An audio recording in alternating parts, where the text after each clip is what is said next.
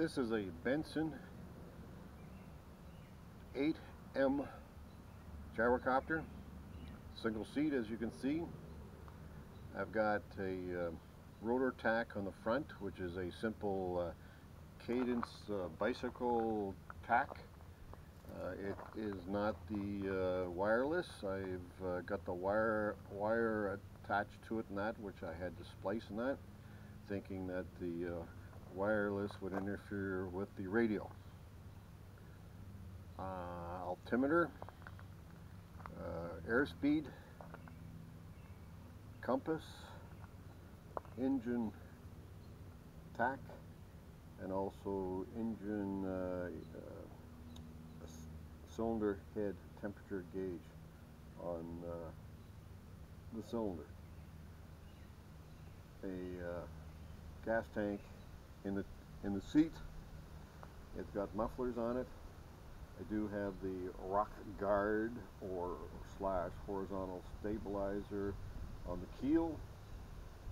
It has a 45 uh, inch uh, prop.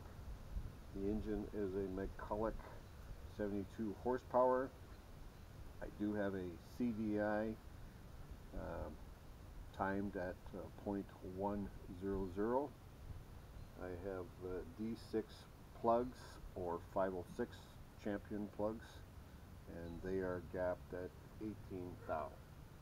I have a 1940 uh, poly carburetor on it.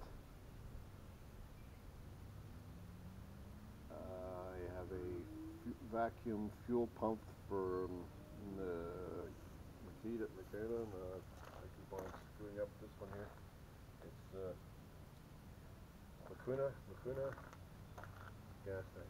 Rotors are off in storage right at the mo moment, uh, waiting to transport it to the airport where I do runway work. So let's see what we do. First thing is, is we're going to try and put the bulb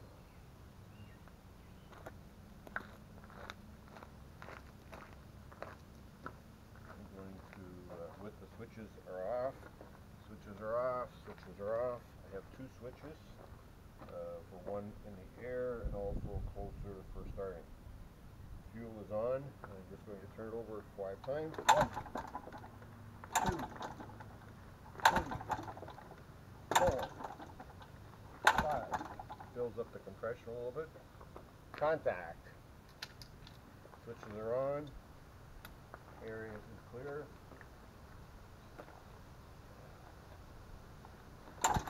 One, two, three, four, five, six, seven, eight. And I'm just going to use the uh, pump, the fuel pump. One,